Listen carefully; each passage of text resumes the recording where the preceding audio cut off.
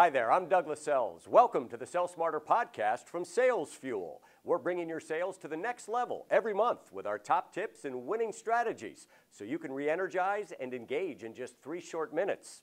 Once you leave a voicemail, the power to call back is in the hands of the recipient. John Barrows notes there are subtle strategies you can use to encourage prospects and clients to call you back. Don't begin with an introduction. Barrows says the majority of voicemails get deleted right after this because the client either knows your company and assumes your intentions, or they don't know and don't care about your company. Instead, begin by greeting the recipient and stating the reason for your call, revealing a short value proposition. This will force the recipient to pay attention to the value you're offering rather than a preconceived notion of who you are and what you do. Keep it under 30 seconds. Short and sweet is your goal. A concise to the point message that shares a value proposition is all you need to cover, which will leave them wanting to hear more.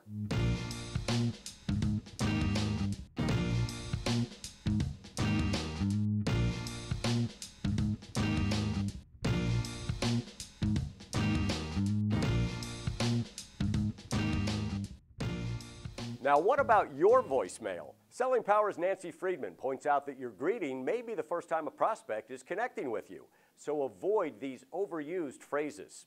I'm not at my desk right now. Rather than stating the obvious, use your greeting to let callers know how to reach you by an alternate method. By providing another way to reach you, your greeting is actually valuable to the caller rather than redundant. I'll return your call as soon as possible. Friedman believes this greeting is rarely more than an empty promise. Often reps are not returning calls in a timely manner, so this greeting probably won't mean much to the caller. Instead of saying you'll return the call, actually do it and save the greeting for a more valuable message. You should be conscious of how you present yourself professionally at all times, even if it's just a recording of your voice. That's it for this edition of the Sell Smarter podcast. Remember, you can always get more great insights every day at salesfuel.com and the SalesFuel mobile app.